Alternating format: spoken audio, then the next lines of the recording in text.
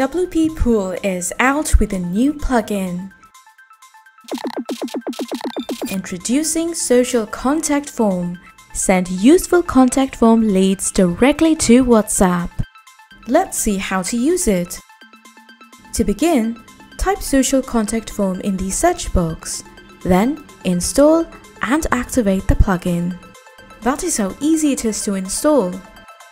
Now, set the dialing code of your choice followed by the numbers. Enable the option for directly WhatsApp web in desktop.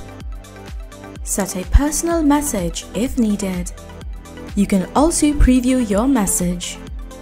Click on Next to proceed.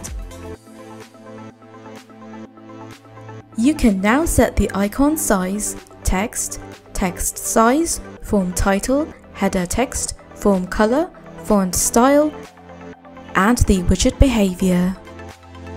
Next, enable the option for Activate Social Contact Form. Then hit Save. After the setup is completed, this is what the social contact form will look like.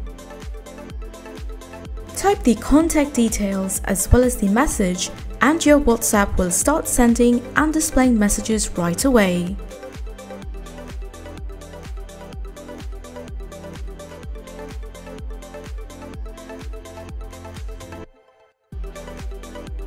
No worries, the dashboard will display all the customer contact details.